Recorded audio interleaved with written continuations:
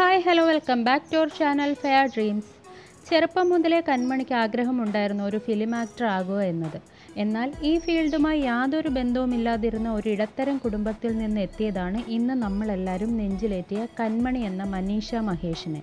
നിങ്ങളിൽ ആരെങ്കിലും നമ്മുടെ ചാനൽ പുതിയതായിട്ടാണ് കാണുന്നതെങ്കിൽ വെൽക്കം ടു അവർ ഫാമിലി. നമ്മുടെ ഫാമിലി മെമ്പറായി ജോയിൻ ചെയ്യാൻ വേണ്ടിയിട്ട് താഴെ കാണുന്ന സബ്സ്ക്രൈബ് ബട്ടണും തൊട്ടടുത്ത് കാണുന്ന ബെല്ലൈക്കണും കൂടി ഒന്ന് പ്രസ് ചെയ്തേക്കണേ. അമ്മു എന്നാണ് കൺമണിയുടെ ചെല്ലപ്പേര്. ബന്ധുക്കൾക്കും നാട്ടുകാർക്കുമെല്ലാം കൺമണി അമ്മു ആണ് പത്തനംതിട്ട ജില്ലയിലെ കോന്നി അരുവാപ്പുലയിലാണ് കൺമണി ജനിച്ചതും വളർന്നതും. കൺമണിയുടെ സ്കൂൾ പഠനം ഐ വി എച്ച് എസിലായിരുന്നു. ഇപ്പോൾ Kanmani B S C airlines മൂന്നാം വർഷ വിദ്യാർത്ഥിയാണ്. മധുര അന്നെ Fatima college of arts and സയൻസിലാണ് പഠിക്കുന്നത്. ചെറുപ്പം മുതൽ തമിഴ് സിനിമകൾ ഒരുപാട് കാണുന്ന ആളായതുകൊണ്ട് തന്നെ തമിഴ് വളരെ നന്നായി സംസാരിക്കാൻ അറിയാം കൺമണിക്ക്.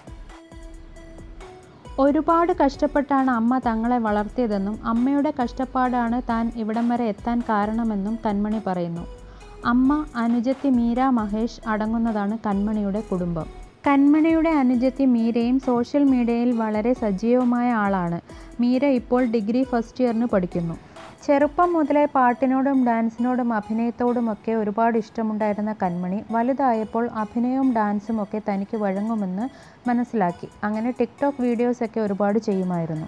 കൺമണി ഇതിലേക്ക് വന്നത് ടിക്ടോക്ക് ഒക്കെ ചെയ്യുന്ന സമയത്ത് കൺമണിയുടെ ഒരു കസിൻ ടിക്ടോക്ക് വീഡിയോസ് ഒരു ഫേമസ് ആയ ഗ്രൂപ്പിൽ പോസ്റ്റ് ചെയ്തു.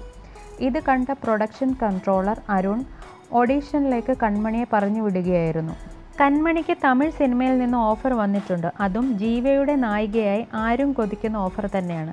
എന്നാൽ സീരിയലായ പാടാത്ത പൈങ്കിളിയോടുള്ള കമ്മിറ്റ്മെന്റ് കാരണത്താലും ഡേറ്റിന്റെ പ്രശ്നം വരുന്നത് കൊണ്ടും അതും മാത്രമല്ല പാടാത്ത പൈങ്കിളി സീരിയൽ കാരണത്താലാണ് താൻ ഇവിടം വരെ എത്തിയതെന്നും നിങ്ങളുടെ എല്ലാവരുടെയും കൺമണി ആയതെന്നും പാടാത്ത പൈങ്കിളിയിലെ പ്രൊഡ്യൂസറോടും ഡയറക്ടറോടും ഒരുപാട് കഷ്ടപ്പാടുണ്ടെന്നും അതൊക്കെ കൊണ്ട് തന്നെ താൻ ഇപ്പോൾ ഫിലിമിൽ അഭിനയിക്കുന്നില്ലെന്നുമാണ് കൺമണിയുടെ ഇപ്പോഴത്തെ നിലപാട്. പത്തൊമ്പതാമത്തെ വയസ്സിലായിരുന്നു കൺമണി പാടാത്ത പൈങ്കിളിലേക്ക് വന്നത്. കൺമണിക്ക് ഇപ്പോൾ ഇരുപത് വയസ്സുണ്ട്. ബർത്ത്ഡേ രണ്ടായിരത്തി ഒന്ന് മാർച്ച് ഇരുപത്തൊമ്പത്.